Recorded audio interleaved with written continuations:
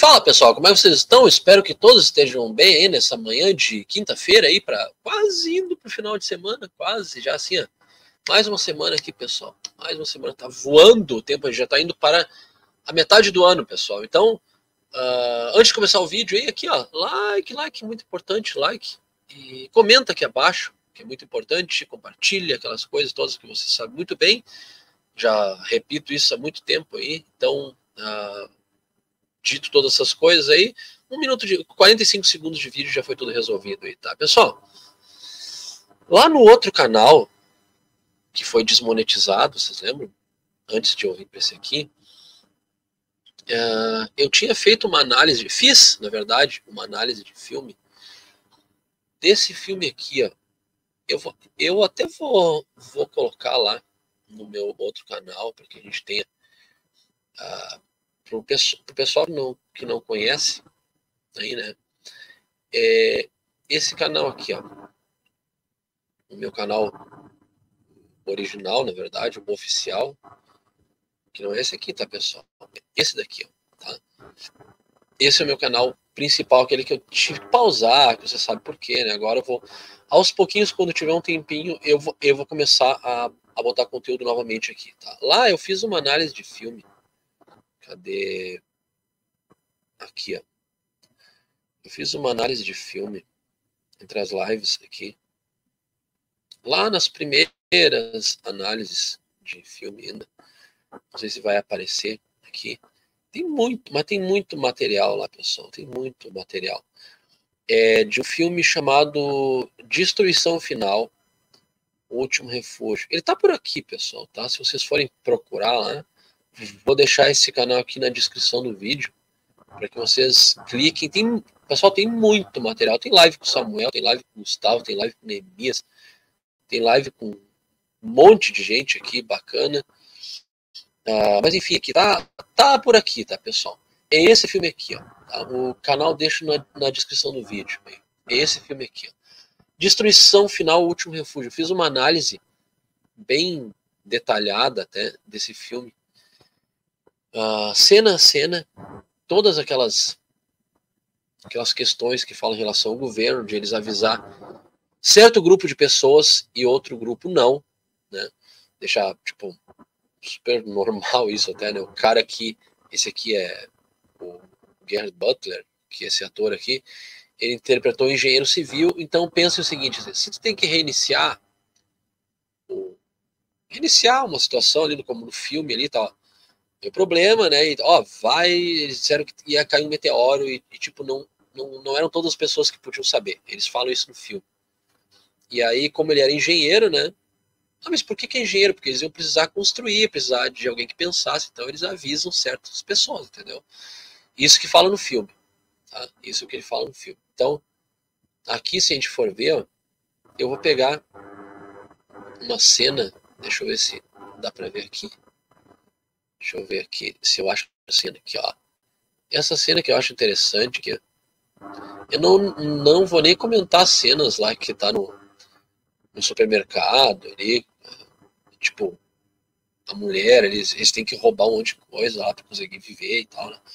Essa cena aqui, ó, até não tá aparecendo aqui. Aqui, ó essa cena aqui. Ó. Ele tá no supermercado, pessoal, com o filho dele, porque tem uns amigos que estão lá, tem, tem uma comemoração e tal. E aí, do nada, do nada, ele recebe uma chamada no celular. Pegue sua mochila, seus do, do, do, documentos sua família e tal, e venha para esse endereço. Tá? Isso não é um teste, isso é o governo do, dos Estados Unidos, no caso. Né? E aí as pessoas ficam pensando, não, isso é época dos Estados Unidos, Maurício. Isso aqui no Brasil nunca vai acontecer. Nunca vai acontecer. E aí ele voltou para casa, aqui, ó, ele voltou para casa e atendeu o celular e apareceu na TV dele, inclusive, porque era só para garantir porque eles precisavam de um engenheiro, entendeu? Então, pessoal, as pessoas realmente acreditam que isso não pode acontecer. Assista um filme ali que é um filme bacana, tenho certeza que vocês vão gostar. Tá? Mas eu não vou falar sobre o filme aqui. Eu vou falar sobre a programação preditiva que anuncia a realidade. Ah, mas isso aí é natural, mas claro que é natural. Tem que fazer teste em filme primeiro, para ver o que a população acha, se ela fica empolgada, se sente emocionada. Não tem gente que fica contratando a plataforma, a plataforma fechada aí, de gente aí só para ter emoção, para ver cenas de não sei o que. Não, pessoal, tem que ser informação, né? As pessoas estão no meio do apocalipse e querem ver emoção, cara. Elas, elas já vão ter bastante emoção, elas não precisam de emoção mais. Então, a, a ficção imita, na verdade, a realidade. Na verdade, ela anuncia. Ela anuncia, não tem nada de preditivo. Tá? Ou tipo, uma previsão. Como fala, os Simpsons previram. Os Simpsons não prevê nada, pessoal. Nunca previu nada. Os Simpsons anuncia. Vocês conseguem entender? Ele anuncia. Anuncia. É um desenho propagandista que você sabe muito bem de quem que é, que criou aquele desenho ali, né, as ligações que tem. Ele anuncia a agenda. Não, não, ele não adivinha nada, pessoal. Tá? Ele não adivinha nada. E dito isso, a Hollywood anunciou filme e tal, né? E já começaram a fazer isso em várias partes do mundo. Não, mas no Brasil não vai acontecer isso, mas claro que não. Deus não vai permitir. Uhum, confia, confia que não vai. Tá? Dá uma olhadinha aqui, ó para ver se não vai permitir mesmo. Permitiu tantas coisas, né? Agora tirar essa tua bunda gorda do sofá aí não, não vai, né? Não vai permitir. Aqui, ó. Olha só. Parece que chegou no Brasil, pessoal. Ó. Ah, matéria da Globo. Globo. Alerta de emergência. Leiam bem o que está escrito aí. Para ninguém falar que é bobagem.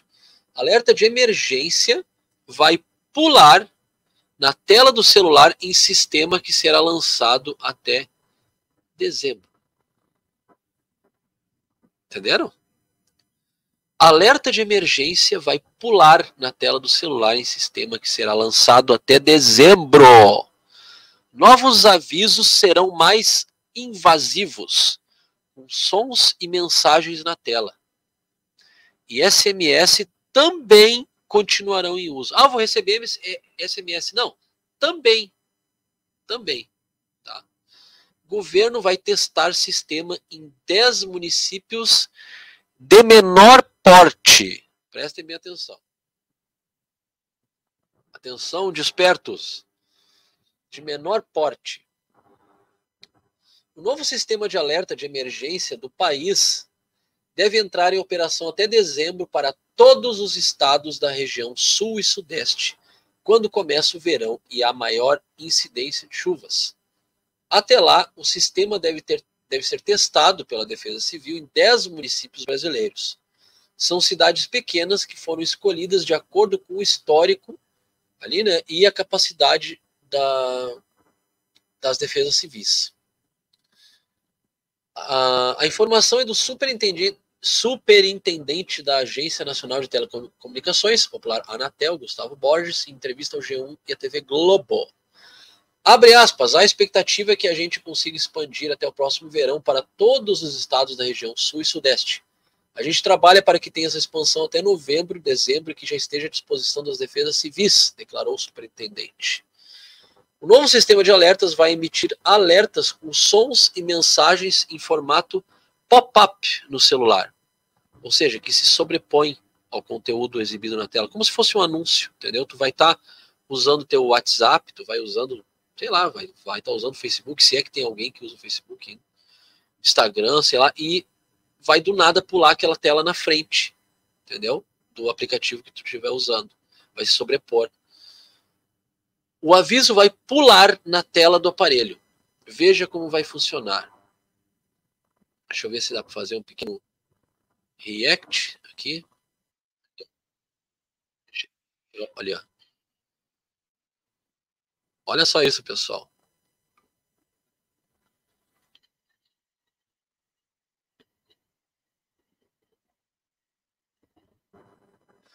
Que coisa, hein, pessoal? Que coisa. coisa. O importante é que essa mensagem não requer um, um cadastro do usuário. Uau! Então, se você estiver com um celular compatível com uma rede 4G ou 5G em cobertura, essa mensagem vai chegar para você, se tu estiver dentro dessas redes ainda.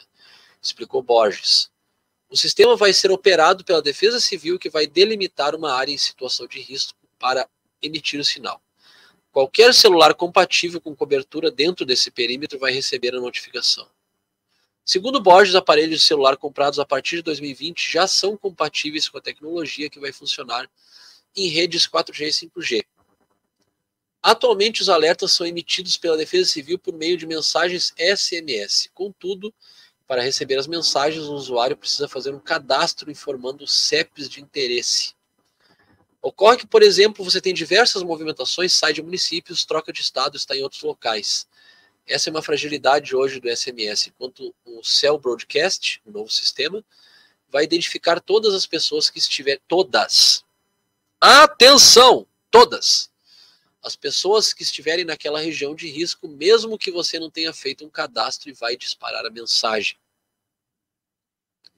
No entanto, segundo o cara ali, o SMS continuará sendo utilizado pela Defesa Civil para emitir alertas. O novo sistema será usado apenas em situações de alto risco é um aviso que, de certa forma, gera uma situação de muita tensão por parte da pessoa. Então, tem que ser reservado para momentos e situações graves com altíssima probabilidade de ocorrer. Tá? Uh, o que falta para o lançamento? No final de 2022, por iniciativa própria, a Anatel determinou que as operadoras implementassem o novo sistema de alerta.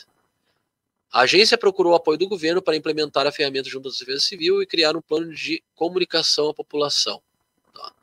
E a, lembrando que a engenharia do sistema foi concluída no final de 2023, pessoal. É uma coisa que já estava pronta aqui, tá? Então, uh, então faltam algumas pendências ali, né? Poucas pendências ali para se resolver isso aí, né? E olha, olha só, no primeiro dia dos testes para esses 10 municípios, a Anatel vai fazer um alerta de demonstração para explicar o que é e como usar o sistema. Então, pessoal, então, então, pessoal, então vocês, uh, quando a gente olha isso aqui, ó, essas situações aqui, ó, é tudo anunciado já porque para ver como a população reage, se ela sente emoção. Vocês lembram que eu sempre digo que emoção não é uma coisa muito bacana assim de, de cultivar, porque ah, eu gosto de ir no, de ir no culto porque eu me emociono. Tudo tá ferrado, cara tu vai ser suscetível a, a engolir todo tipo de situação, cara. Tu não tem que ser emotivo, tu tem que ser sóbrio. Tem momentos que, obviamente, a emoção acaba falando mais alto, mas a pessoa não pode se deixar envolver, pessoal. Tem situações que tu olha, aconteceu algo que tu não esperava, tu acaba te emocionando, mas tipo, tu vai no lugar, tu dá toda a legalidade para aquilo ali acontecer e tu gosta daquilo ali, ah, eu gosto de me emocionar, então tu tá ferrado, cara. Eu tenho que te dizer isso, cara. Tem que ser sóbrio, tem que ser frio. Não pode ser a, essa maneira como estão pintando aí, como se fosse uma coisa. Ah, eu escuto um louvor e eu me emociono. Tá aqui, ó, tu vai te emocionar bastante, tá? Tu, tu que fala que o apocalipse não vai acontecer aí, ó. Tá? Te prepara, cara. Te prepara. Tá? Aqui, ó. Quem quiser conhecer esse meu essa análise que eu fiz aí, ó, pula aqui pro canal que tá, que tá na descrição do vídeo, que é meu outro canal. Aos pouquinhos eu vou voltando com ele, tá, pessoal? Aos pouquinhos, eu acho que tá nas playlists. Aqui, ó. Playlists daqui, ó, tem um monte de coisa, ó. Grandes hereges brasileiros, é, Clube do Inferno, análise de filmes, aqui, ó. Então, tem muita coisa, pessoal, aqui, ó. Tem muita coisa. Tô... Deixa eu ver. Tem muita coisa. A gente pode aqui, ó, Ó, esse aqui, ó. Destruição final, último refúgio. Tá aqui, ó. Tipo, é um filme aqui que é, eu, eu acho que é muito importante que as pessoas conheçam, né? As pessoas conheçam. Não vai abrir agora porque a internet tá meio lenta aqui, tá? Mas vai estar tá na descrição do vídeo aqui. Eu acho que é muito importante que vocês uh, vejam, tá? Porque tem bastante coisa para acrescentar ali, tá? Esse é o vídeo de hoje, pessoal. Não esqueçam, uh, mais tarde tem vídeo lá no Lugar Seguro, você sabe muito bem. Quem não conhece o Lugar Seguro, quer conhecer aqui, ó, me chama lá, cara, me chama aqui, que eu converso contigo. A gente tem uma conversinha bacana, assim. E, e tu vai lá no Lugar Seguro, né? Que tem um conteúdo muito, muito, muito melhor que aqui no YouTube. Você sabe disso. Aqui é. Aqui não. É bem light que tem que ser, né, pessoal? Bem, bem, bem light, umas capas bonitas, os assuntos bem legais, assim mesmo, né? Uh, não, não dá para aprofundar muito, tá?